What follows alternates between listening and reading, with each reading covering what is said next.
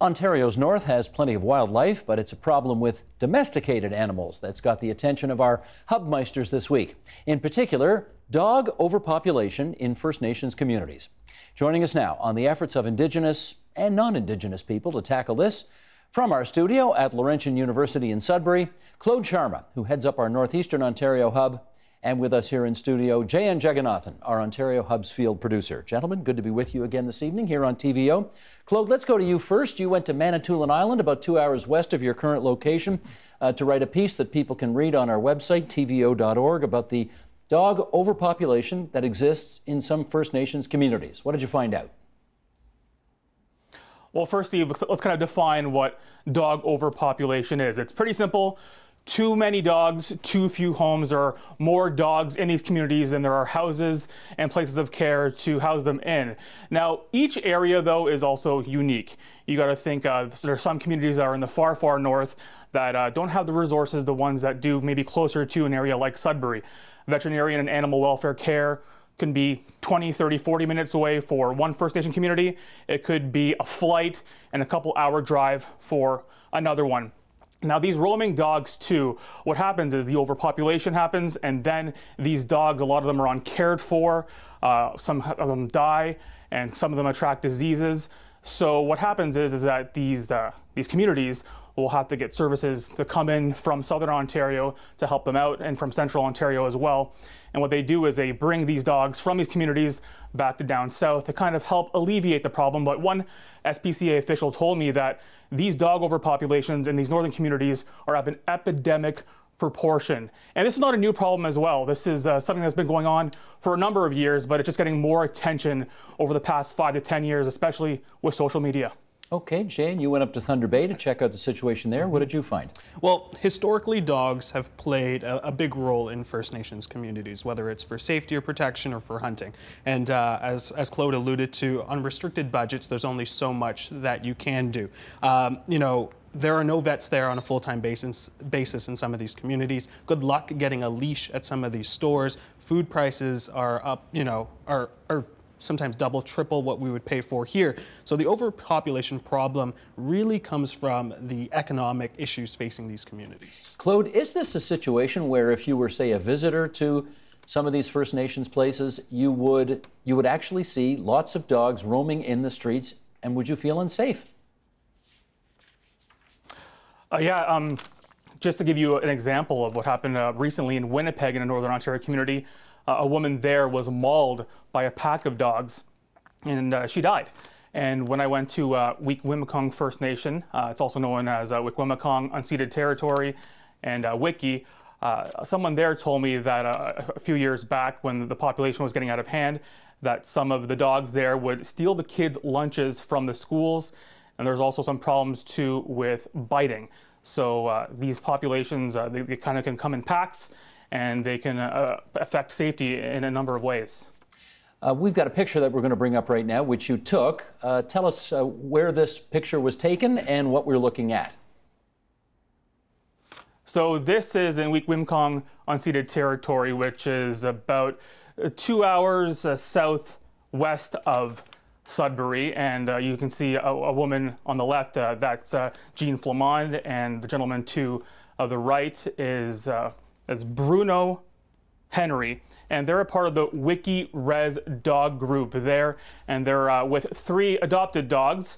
Uh, you can see two chocolate labs, uh, Coco and Hershey, who were brought in, adopted from Sudbury, and were uh, their sisters, and they were spayed by a nearby animal hospital. So they are brought in to the community uh, responsibly. These dogs don't look dangerous, though. Uh, I know uh, these dogs were, I guess you can almost say, too friendly. Uh, they were jumping on me, uh, getting dirt on me, trying to lick me. Uh, uh, very, very, very friendly. And when I would be driving away, they, would come up to my car and kind of like, no, don't, don't go, stay, please. so yeah, they, they were well cared for and definitely friendly. Well, that is a very sweet picture, but I, I, I think your friend Jayan here actually has you one-upped. Sheldon, you want to bring this next picture up?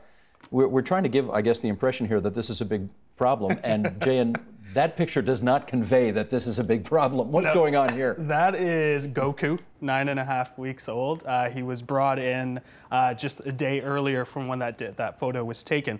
Um, I just wanted to talk. Uh, Claude had mentioned uh, the safety of, of, of, people out there, but it's also a safety issue for the dogs. In the case of, of Goku, you know, these are dogs that are roaming, they start to pack, and in some cases, especially when dogs are mating, it can be very aggressive. And so uh, this rescue group that I did a profile on is called the Northern Reach Rescue Network. They work with the First Nations communities there, and they bring in dogs uh, via uh, the local airlines there to Thunder Bay. And what they're seeing is a lot of these dogs have, you know, bite marks, have, um, you know, have either been on a rope or a leash for a really long time and have kind of deep wounds. So they get them to get the, they take them straight to a vet if they need the help. They get them into a foster care in Thunder Bay, and that's where they'll stay before they get adopted. So uh, just last month when we were there, they were getting about a dog every day. And we're talking, you know, ranging in, in, in ages from a, a litter of pups to about three or four years old. So. Hmm. Claude, the First Nation you went to, I presume we're talking about Wiki right now, is also trying to solve this problem. What are they up to? Well, they're doing a number of things. Uh, the picture that you saw before with Jean and, Bruno, uh, they're part of the Wiki Res Dog Group, and what they're trying to do is help with the overpopulation. So uh, they uh, created partnerships with the Welland SPCA in the Niagara region.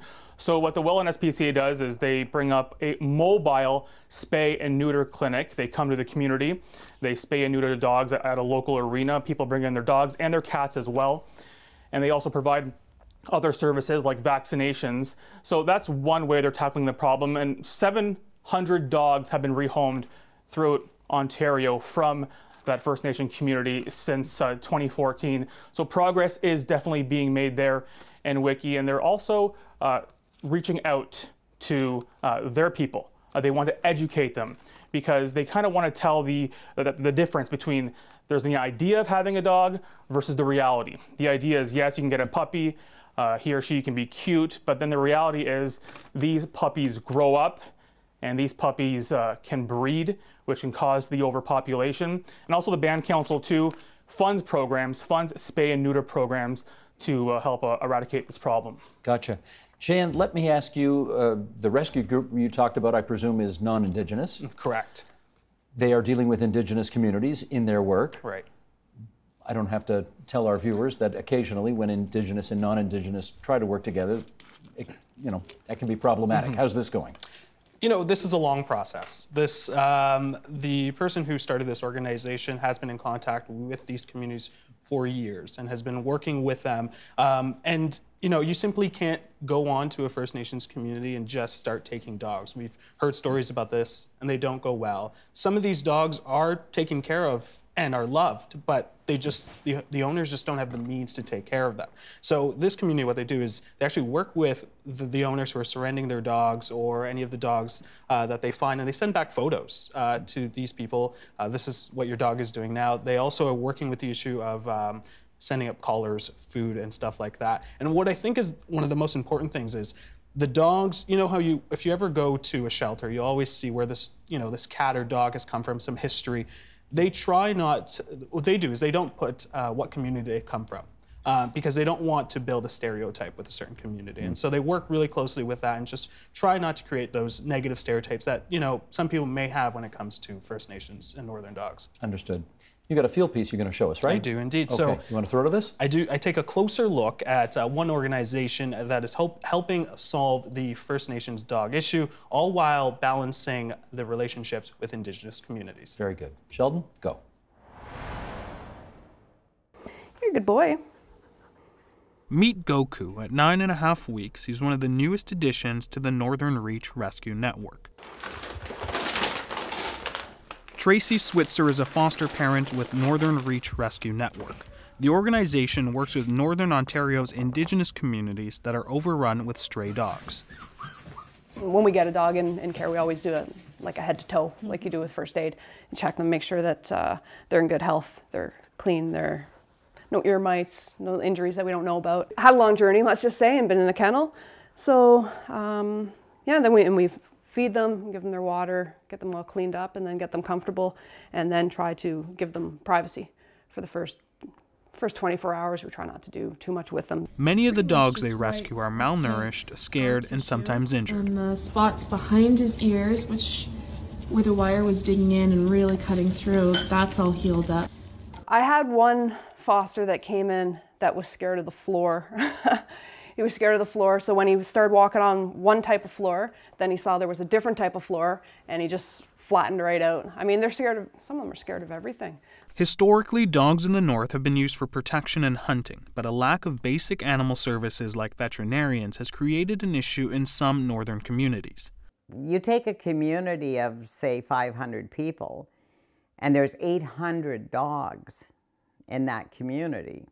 You can imagine how overrun that community is because they are free roaming. You go to any northern store, there's going to be 20 to 30 dogs around there. And that's the urgent care food. Darlene Vesna is the founder of Northern Reach Rescue Network. With the help of over 50 volunteers and foster families, she has rescued thousands of dogs. One day I got a call from a friend of mine that lived up north, and her dog had been run over by a car. And this dog was laying basically in the snowbank, and there was no help, there was no pain meds, there was no crate, there was no nothing. And I got networking and, and messaged a few friends and found a rescue for them and, and they sent the crate and it took three days to get the crate there.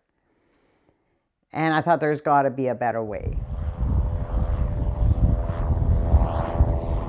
The dogs are flown into Thunder Bay where they are temporarily fostered. And during this past spring, the rescue was flying in dogs more than once a week. Get some toys. Tracy Switzer also helps to ensure other families have enough food, toys, and medication, but the organization also sends them to communities up north. They're all just skin and bones. I mean, food, dog food up in the northern communities is very expensive. And I mean, we send some up as, as much as we can. We have, uh, we have people that do that, but um, they're, most of them are just, they're hungry, they're starved for attention. You know, many of these northern stores, you can't buy a collar, you can't buy a leash. There's nothing for the dogs. It also creates a safety concern for everyone in the community. When the females go into heat, you have the males packing up. They're, they're fighting with each other. They're fighting over the females. They're aggressive. Uh, a child walking to school with a sandwich in their pocket's going to be a target. Vesna has spent a decade building relationships with northern communities. Many of them are gated and require permission from the chief and council to enter. The organization also doesn't release the location of where these dogs are coming from to protect the communities from any negative labels. At one time, a, a big mistrust of rescues. Uh, rescues going into communities and just taking dogs. And that, that's true of any community. I wouldn't want anybody coming by my yard and thinking, oh, she's not looking after that dog properly and take him. I'm not going to tolerate that either. Northern Reach Rescue Network doesn't put up the dogs for adoption. Instead, after a short stay with foster families in Thunder Bay, they're transported to southern Ontario, where they have a shortage of dogs available for adoption. Those people love their dogs. You can tell that they love their dogs, and the ones that send their dogs out, you can tell they love them even that much more because they're willing to give them up for a better life. Very good. Okay, gentlemen, thank you for the view from Northeastern Ontario. Claude Sharma, who's our hubmeister coming out of Laurentian University in Sudbury, and Jayan Jagannathan, who's in a van all the time, traveling all over this province. He's our Ontario Hub's field producer. Until next time, guys, thanks very much.